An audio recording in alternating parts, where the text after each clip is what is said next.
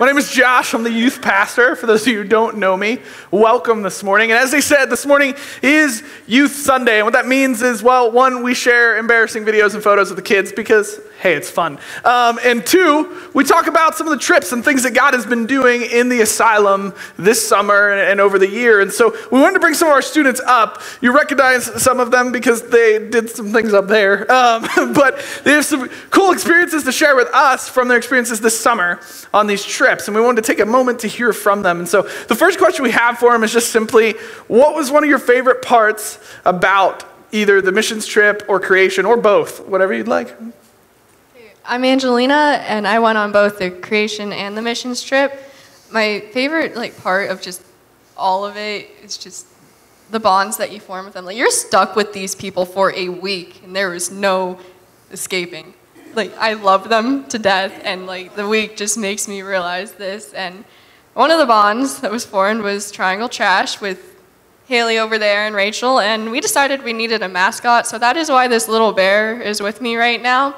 This is Javier Jr. We're gonna pass him down the line, okay?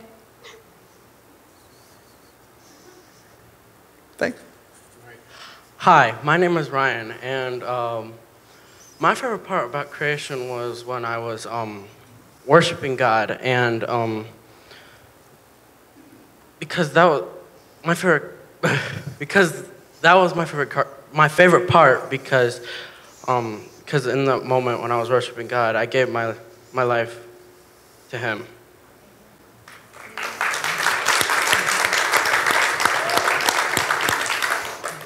Hi, I'm Zach. My favorite part about the mission trip was we served at this place called Food and Friends, and it's a place where they make and help deliver food for people with health issues, health needs, and they can't get it for themselves. So I was part of the group, we all got split up. I was part of the group that helped went and delivered stuff through the city of DC. It was very interesting. We used GPS and written directions. We only missed, we got lost once. Yeah. So, my name is Jonathan, and there were a lot of great experiences during the missions trip. But the funniest story would be the time that we helped out at Charlie's Place. And Charlie's Place, what they do is they give out free food and clothes to homeless people. So, after we helped them distribute the food and clothing, there was a time where we were told to go find someone, sit down with them, talk with them. I walk up to this guy, I ask, Hey, do you want to talk? He goes, Yeah, sit down. So I sit down, introduce myself, what are your hobbies? And he goes, I like to travel and I like photography. Well, that's great because I like to do those things too. We can talk about those. We start out talking about travel, which is pretty normal. We're just talking about our favorite places to visit. And then he goes on to photography. He pulls out his wallet, he opens it up, takes out a picture. There's this loaf of bread, and behind it there's water rippling, sort of in the shape of a man's face. You know, more like the state of Montana than an actual man, but he points at it and goes, Do you see the man's face? I go, Yeah, I guess. And then he goes, That's the spirit of George Washington. And then he looks at me, Do you believe in reincarnation? Because I do. And I think that you must be the spirit of George, I mean, you must be the reincarnation of George Washington because you're a really nice young man and you smile a lot. And then he kept going. He told me that when I got home, I needed to write a letter to President Trump and what I needed to tell President Trump was I needed to talk to him about the real problems our country was facing. And he would know who I am because he used to be the Egyptian pharaoh, King Tut. I'm Haley, and I went both on the mission trip and as well as to creation. And so my favorite part of creation was the first night. We Bethel had come, and uh, really we all worshipped really hard that night. That was the first night that Chewy um, accepted Christ into his life. So that was awesome to see. And uh, the songs were playing. We played "What a Beautiful Name" and then "Reckless Love," and then it came to "It" as well. And um, my mom, who's actually sings uh, here on the worship team, she was just singing. Uh, she normally sings that song whenever it's played here. And you know, I in my head I was thinking about how passionately she sings the song and how she sings it for the Lord and not for herself. And and then I think I look up and I see Kristene DiMarco, who from Bethel, who's singing the song, and I see how passionately she, she sings it, and I'm like, oh my gosh, like that's like my mom. And next thing you know, like I fall to my knees in the presence of the Holy Spirit, and the Holy Spirit, I can see Him and I can feel Him, and His presence is made known, very well made known that night. And I, you know, trying to sing the song, and I just can't because I'm, I'm crying. And, you know, I, I look around and I see every single one of the youth members then down on their knees with me as well. And they're not doing it to follow me, they're doing it because they feel the Holy Spirit's presence as well. As well, excuse me. Um, so that was awesome. Missions trip was definitely we are at the Air and Space Museum, and um, I really am no fan of astronomy at all. So I got really bored really quick as soon as I walked in. I was like, uh, and so I was like, it would be a great idea, like if I, I can I can make this fun and enjoyable for myself. So as you heard my Irish accent as I welcomed you all to LifePoint this morning, um, I, I did an Australian accent and I gave a tour to the youth of the the Air and Space Museum. And so the best part, they they loved it and. So I was like, uh, you know, welcome to the Air and Space Museum. It's wild here. It's crazy out here in the Air and Space Museum. And we come to this, uh, you know, this vest. And I, I just want to show you the, all, not the vest, but the actual, the mannequin behind it. You know, has no head, has no arms, has practically no limbs except like a body. And I, uh, you know, and so just talking about it. And two men walk up and they're like, we're just trying to figure out what's so interesting about this vest. And I was like, nothing about the vest. You can probably go buy it down though at Kohl's. I think buy it twenty ninety nine. If you want to go down there, that's fine. Um, and I don't know if it was at Kohl's, okay? Um, but yeah, that was probably my favorite part. Okay, so um, on to the serious part of this. How did these trips help you grow spiritually this summer? Uh, during creation, uh, there was a point where I went off with one of my friends. Like we were just walking and talking. We were supposed to go to a speaker. We did go. I promise we went. okay, so we we got to the speaker. We set up our chairs, and like, the speaker started talking. Then they started talking. They just spilled everything out to me, like everything that was on their mind, and it, it I don't know. It felt like I was supposed to be there at that moment, and God wanted me to kind of let her like let her know that her life is going to be it's going to be all right. God is with her at all times. I feel like I was the route he went through to get the message across. And then at the missions trip, it was it happened way before we were even there. It was the morning we were supposed to leave, and I I panicked and I broke down and I was like, I'm not going. I'm not going. So my mom told me to like get in the car. Like we'll see what happens when you're at church. And as soon as I got in the car um, All In started playing on K-Love, and I don't know, that was kind of the moment. It was like, okay, God, you want me to do this? I'm gonna do this for you. A way that I grew spiritually um, was um, at the missions trip. Um, I God gave me courage to do a lot of things there because it's it's really scary, a lot of things that we had to do. But He gave me the courage, and I got through it.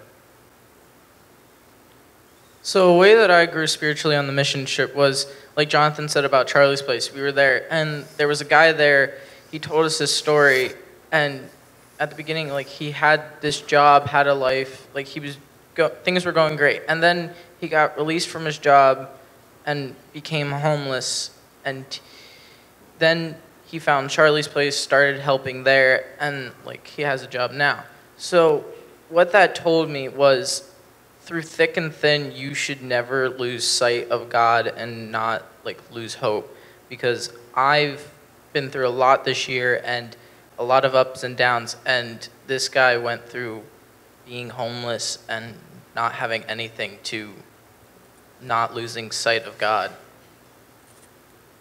I would say that the trip helped me to become more compassionate because before the trip, I would see someone who's needy and go, well, if he's homeless, then why doesn't he just go get a job so he can buy a house? Or she has a really nice car, so she should be able to pay for her food.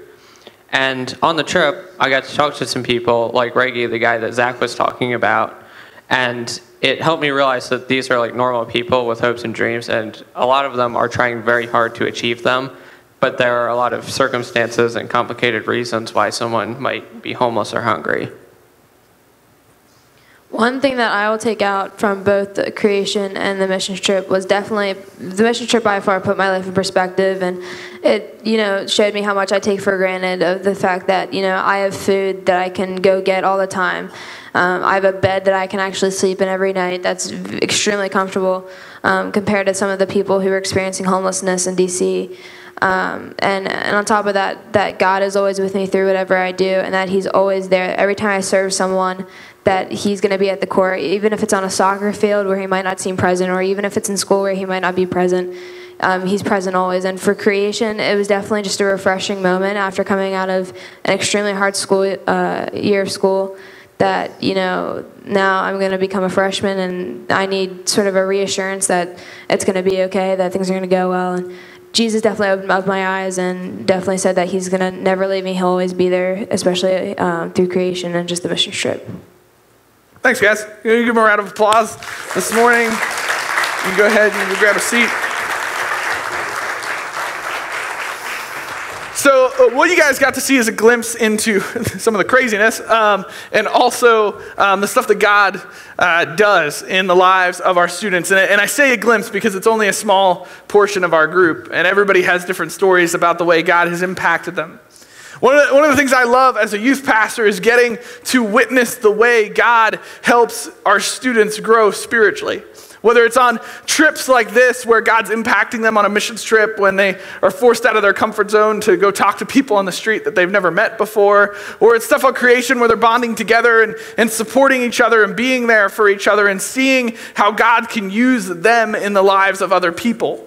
I love being able to see students who go from being terrified of stepping out of their comfort zone for God to being invigorated by being able to actually do something for God and seeing the gifts that God has given them and how they can use it. I love seeing students who are able to trust God more as time goes on. And we see it countless times, whether it's at events like this, things we're doing in the youth group, or just in general. I get to witness students who three years ago look completely different than they did then now. Uh, that God has completely changed their lives through the interaction of family and volunteers and people that have come around them and helped them grow to know God more and grow spiritually. And as we enter into this series, Glenn started last week kicking us off by talking about the core ingredient of a family. And yes, he cooked bacon, and I'm sorry I don't have bacon this morning, okay? That's a hard follow up, guys. I need, like, bring a full breakfast. No, I'm just joking. Uh, so, but he talks about this core ingredient that is love. And I want to talk this morning about another core component of a strong family that I believe when we take it seriously, it grows and grows the key ingredient in our family. And that thing today is our spiritual life, our spiritual growth. Because I think that families, strong families, take their spiritual life seriously. The strong families take their spiritual life seriously. What I mean by that is that they take their relationship with God seriously, their family's relationship with God seriously, that it is a priority in their life. I've witnessed this time and time again as a youth pastor looking at families. I've witnessed this in my own family that when the family takes God seriously and takes their spiritual life seriously, the family itself becomes stronger. And God does incredible things through that family. And so that's why this morning I want to talk about what it looks like to take our spiritual life seriously and why it's so important, what God does through it. To do that, I want to go look at Deuteronomy chapter 6, verses 4 to 9. Before we read it, I want to talk a little bit just about the context to this verse. So, God gives his commandments, right, to the Israelite people. And then, right before this passage, we have a section where God tells Moses to tell the Israelite people to be careful to, to live these out and train up their families to do the same thing. Because in doing this, they're living out their relationship with God and living into the things that God desires for them to live out so that they can experience the incredible things that God has planned for them. It's because that God's plan is ultimately better than anything else we could have planned for ourselves. And so he's calling the Jewish people to live this out. And then we come into this passage, Deuteronomy chapter 6, verses 4 to 9, and we get a roadmap for what this looks like to take the spiritual life of our family seriously, to take living for God seriously. And it says this Hear, O Israel, the Lord our God, the Lord is one. Love the Lord your God with all your heart, with all your soul, and with all your strength. These commandments that I give you today are to be on your hearts. Impress them on your children. Talk about them when you sit at home and when you walk along the road, when you lie down and when you get up. Tie them as symbols on your hands and bind them on your foreheads. Write them on the door frames of your houses and on your gates. So, what we have here is a roadmap, a roadmap to taking spiritual life seriously. And it starts in a very interesting way. It starts with something that the Jewish people came to know as the Great Shema. And what that was was an important core value to their entire system of commandments and their spiritual life. That they believed you could sum up the commandments into this statement to love the Lord your God with all your heart and with all your soul and with all your strength. That it was the core thing underneath all of it. And what I find interesting about this is that the core thing underneath all of it is love love for God. That the core to our spiritual life, the core to spiritual growth, the core to following God, the starting point is love for God. And we know this is still important because when Jesus is asked what's the most important commandment, the most important thing you can do, the thing that you need to remember above everything else, he quotes this passage. He says, Love the Lord your God with all your heart and with all your soul and with all your strength. And then Jesus goes on to explain more of how that works in relationships. But he quotes this Love God. Love him with everything you have. This is important because I think we learn something about what it looks like to take our spiritual life seriously and how we can do it. It starts with intentionally watching over our own relationship with God. To take your spiritual life seriously, you need to start with intentionally watching over your own relationship with God. Now, what do I mean by that? Well, I don't know how many of you guys have ever experienced this while driving.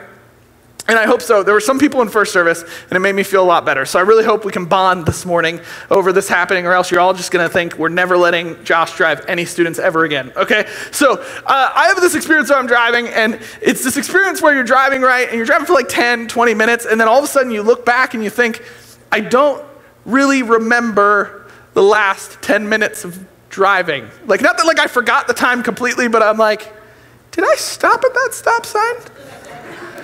I think I did. Right? Anybody ever experienced this before? Anybody? Yes, I'm not alone this morning. Okay, awesome. Okay, so like, I've experienced this in my own life when you're driving.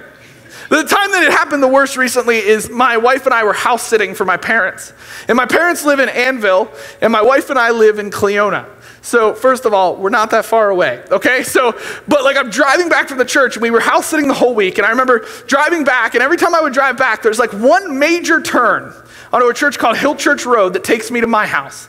And if I want to go to my parents' house, I go straight, okay? So, here's what happened four days in a row, I didn't go straight, okay? I kept turning down Hill Church Road, okay? Because I was distracted thinking about everything that was going on that day, what I had to do. Apparently, you know, taking care of my parents' house wasn't priority number one. Um, and I kept turning to my house. And I would love to say that the second I made the turn, I was like, Josh, come on, like turn around. No, it's like five minutes later, I'm like on my way, like, oh, crap. Okay, like, and realized I had to go to my parents' house. Okay, so it turned around. You know, we laugh at this, but I think we're often this way in our relationship with God. We do what I like to call going on autopilot. We go through the motions, we get distracted by the life that's surrounding us. Everything that we have to deal with that day takes over, and we stop intentionally investing in our relationship with God. And before we know it, we look back a week, two weeks, two months later, and we realize, like, what have I been doing? We haven't been investing in connecting with God. We haven't been investing in, in, in knowing Him and hearing from Him and living for Him. And we look back and we've let the things of our day just distract us. For good reason. I mean, some of you guys are driving, you're coming home and you got like 18 soccer games to deal with that night, or you've got five meetings that night, or you're trying to get home and just for goodness sakes make a meal, right? Like we've got all this stuff going on. But the reality of it is, if we neglect our relationship with God, we're missing out on something incredible in our lives, and we're hurting the, the possibilities of what God could do in our family through us. We need to intentionally watch over our relationship with God. And that means treating our relationship with God like any other relationship we have, prioritizing connecting with Him, prioritizing hearing from Him, prioritizing talking to Him, making Him a priority in our every day, in our every moment. I mean, imagine if we treated some of our other relationships like we do with God. If I came home and didn't talk to my wife for three weeks, I would be in a lot of trouble, okay? And the relationship would not be healthier. We need a relationship with God. We need to be connected with God. We were created to be connected with God. And if we are ever going to grow spiritually and experience the life that God has put for, before us and has created us for, we need to connect with Him. And that's why this verse starts with love. Because we will never spiritually grow until our love for God grows. We need to grow in our relationship with God. And so that means taking time to hear from Him Open His Word, read it, look at it, study it, understand what He has to say to us. And this doesn't mean that you have to start your morning with like a six hour Bible study. That's not what I'm saying. What I'm saying is just take a couple minutes in your day to, to open God's Word. Some people, they put it at places in their car because every time they go to look up at the rearview mirror, they need reminded that God is with them because that person behind them is also with them and it's a dangerous moment, okay? They need to be reminded of the truth that is God's Word. And we need to prioritize the things in our our lives that connect us with that. That's why Sunday mornings are so important, so that we can hear what God has to say to us. And we can connect with that. And that's why I love life groups too, because it takes what happens on a Sunday morning and it moves it to a more personal place where you can dig deeper and get all the Bible verses that Glenn was not able to fit on a Sunday morning and work on them together and talk about them together so that you can not just read them, but begin to understand them and know the God who said them. And so we need these in our life so that we can connect with Him. We need to talk to Him. We need to share with Him. We need to tell Him when we're feeling overwhelmed and trust Him. Whether that's starting our morning each morning off by talking to Him or it's praying in that second where you feel like you're going to lose it, you need to talk to God. Thank Him for what He's done for you. Talk to Him every single day. The God of the universe is accessible for you to love and prioritize, so make sure you do it because you will never be the same when you do. And so make sure you connect with God, speaking to God, talking to Him, hearing from Him, and then living out what He asks you to do. Because it's in those things, it's in worshiping Him through song, through action that we show God He matters. It's through those things that we connect with God. It's through those things that we grow, that God shows us how He made us and how He can use us. And it's all these things combined that grow our love for God. And we need that relationship. We need to start with intentionally being awake and making sure that tomorrow we know God better than we did the day before. Because as we do it, God does amazing things in our lives. He makes us stronger. He doesn't take away all the problems, but He makes us stronger to be able to handle them. He develops us, He changes us. We need to be connected to the God of the universe. And so, if we're going to take our spiritual lives seriously, we need to start with watching over that relationship that we are able to have. Now, what's the next step of this? Because just watching over our own relationship is not the full process of being intentional with our spiritual life and our family. There's another part of this, and we see it in Deuteronomy 7 to 9, the, the next part of the verses that we read. It says this Impress them on your children, them being the commandments, the things that God has told you, the way to live, the way to connect with Him, the way to follow Him, the way to know Him. Impress them that onto your children. Now it says children here, but we can apply this to our whole family. This is a specific example, but we can apply this to the way we interact with all of our family. He says, make sure that they know this, make sure that they see how to do it. Now, some of you may be sitting here and going, that's great, Josh, but how do I actually do that? That's a great question. I always love when you guys ask things that are like, here. He's like, good. Okay, so let's look at the rest of the verses. It says this Talk about them when you sit at home, when you walk along the road, when you lie down, and when you get up. Tie them as symbols on your hands and bind them on your foreheads. Write them on the door frames of your houses and on your gates.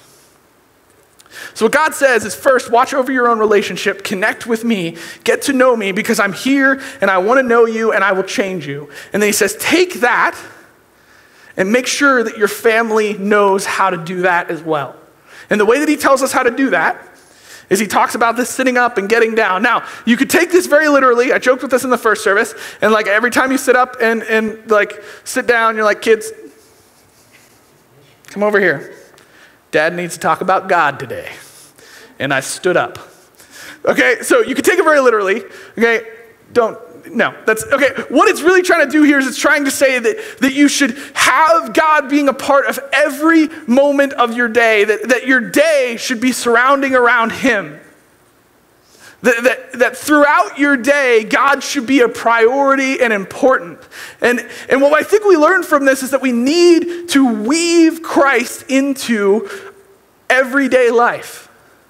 It teaches us that we leave a lasting impact in our family by intentionally weaving Christ into everyday life. Intentionally taking God and making sure that He's a part of our everyday interactions with our family and those who are close with us, making sure that He is a major part of our day. Weaving it in, strategically making it a part of the interactions. It's living our relationship with God out loud why we're living our relationship with other people. It's making sure that God is within our relationships and intentionally living that out.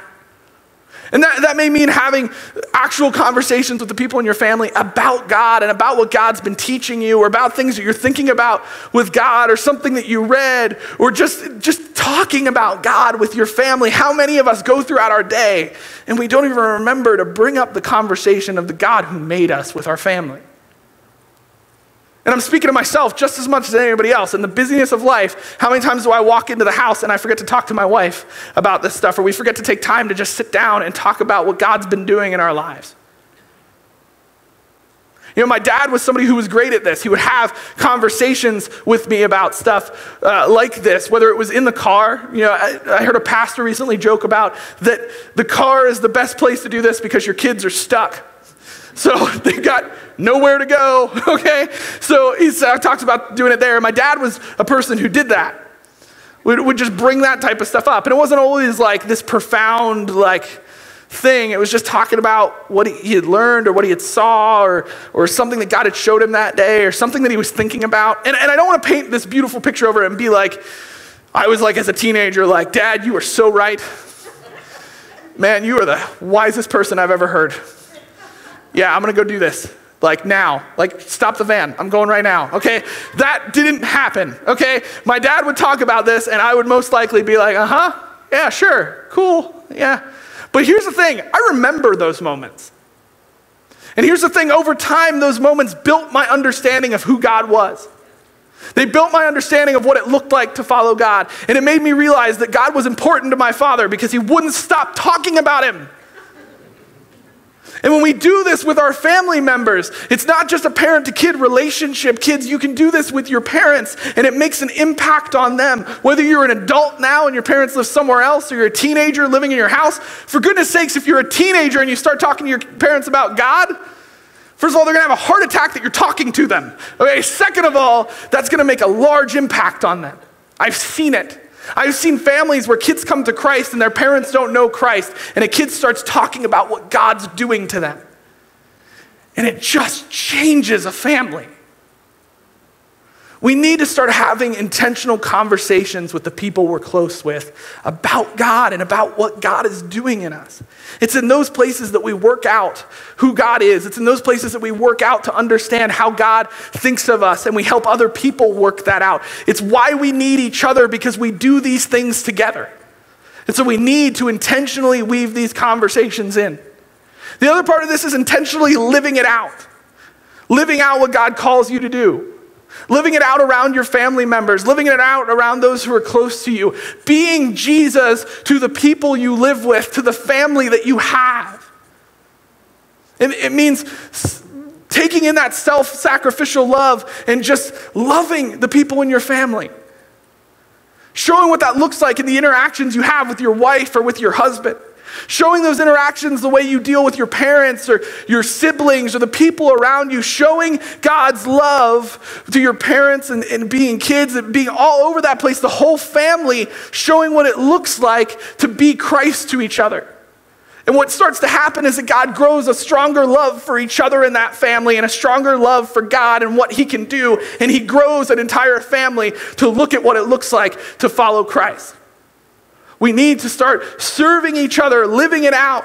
You mess up, you screw up, don't throw it under the rug. Show your family what it looks like to say, I'm a sinner, but I've got a Christ who's stronger. Say that in your family, live that out with your family. Prioritize those things within your family.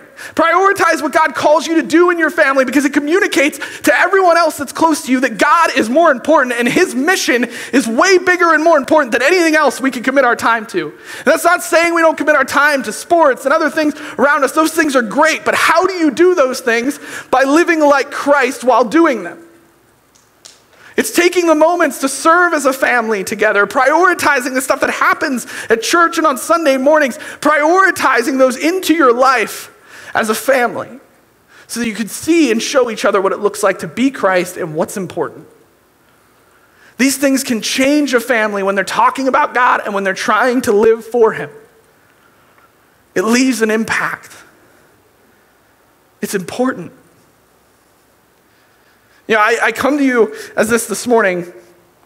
Listen, I, I'm going to be honest. Okay, when, when I started making this message and working through it and working through the passage, the first thought crossed into my head Josh, you are a youth pastor who is 27 and has no kids, and you're going to start trying to talk about like spiritual discipleship and stuff in your family. Half of the church is going to hate you, okay? Those were the thoughts running through my head, okay? So I'm trying to be honest with you guys. Listen, I'm not a parent. Yes, I have two cats, but as I remind my wife over and over again, they don't count.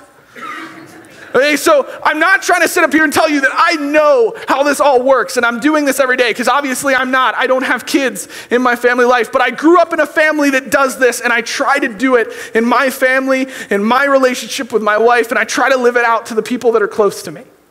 And it's that family that made a difference in my life. My parents lived this out. You know, those of you who don't know my story, I, I grew up with uh, two great parents, and but my dad and I, we always had a rough relationship early on, especially going up into like the middle of middle school. We, we did not have a great relationship, and it was not because my dad was a bad father. That's not what I'm saying at all. He was a great dad. It's just that I was the first kid, so I was an experiment. Um, and I was a tough experiment, okay? Because um, much like my dad, I was very passionate. I know that's a surprise. Um, and I would get, we would fight a lot. And I was hard headed, and, and he was a little hard headed, and we'd go at each other, and it would just explode. And him and I just did not have a great relationship early on. I always felt like I had to be perfect. I always felt like there was this pressure to, to, to always have myself have everything right. And it's not because he said that to me, it was just the way our interactions were. But when I was younger, my parents started going to this church. It was this church in Cleona, and uh, they started going because of family friends at work, um, from what I understand, that, that got them going there. And so I remember sitting in a car with my dad the one day and him saying, Hey, you know, we're going to go to this church thing. Are you cool with that? And little young Josh was like, Sure, because I have no idea what that is. Okay? So we started going.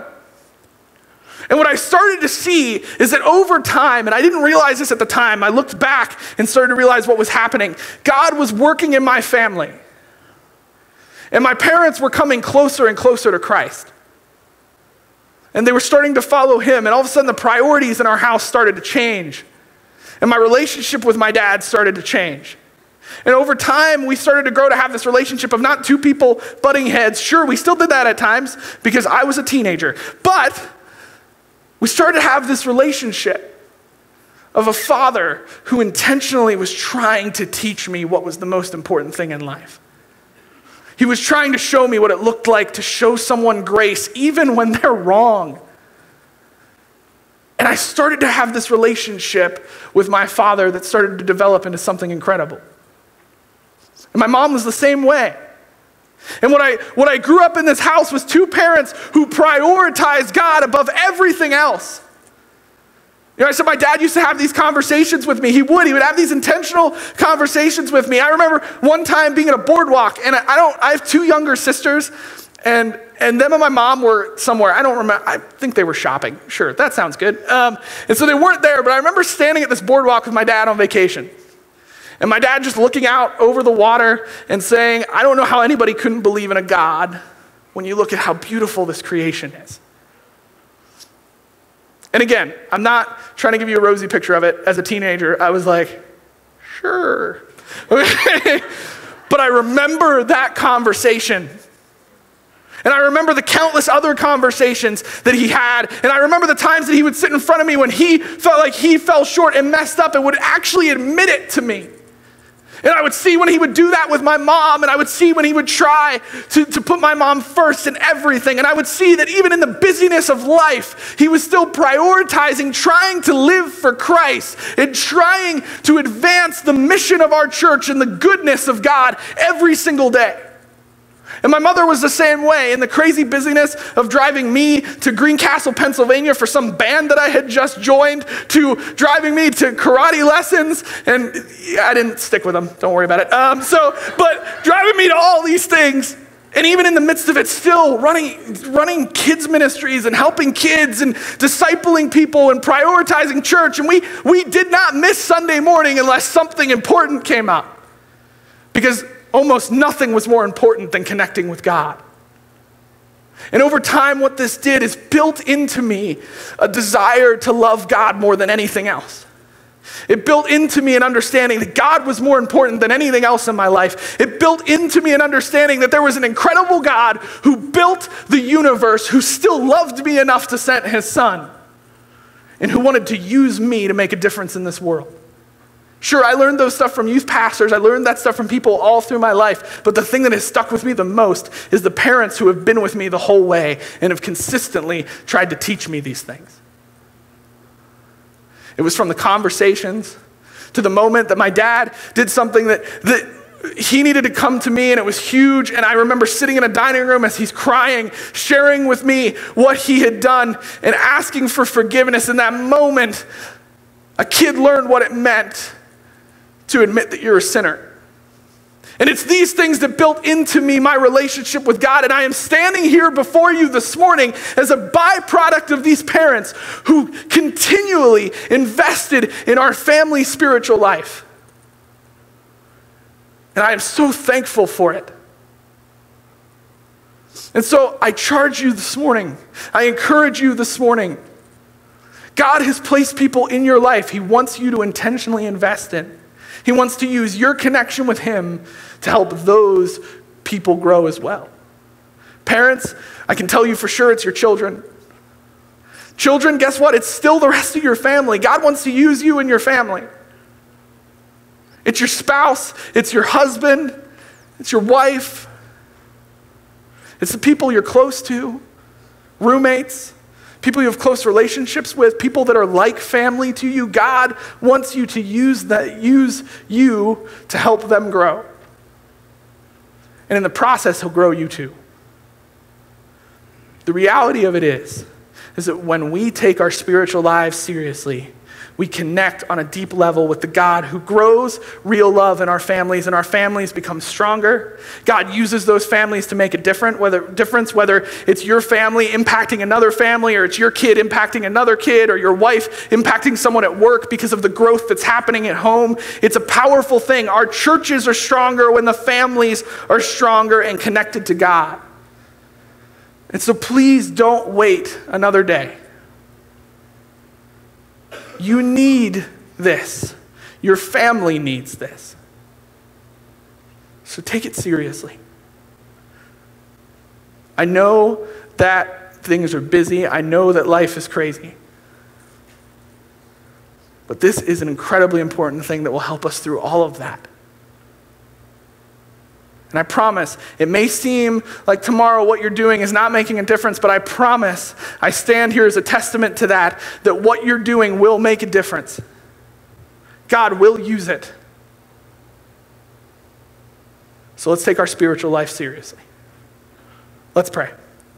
Father God, I thank you for this morning. I thank you for this church for the people here. Father, I thank you that you want to have a relationship with us, that you want to help us help our families, that you want to come into our families, that you want to help us be stronger, that you want to be a part of our lives. I thank you for that. Father, just help us see the places in our life that we can connect with you better. Help us connect the loved ones that we have, the people that are close to us, better with you.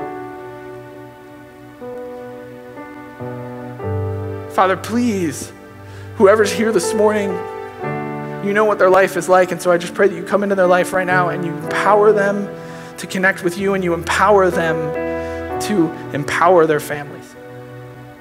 Pray this in your son's name. Amen.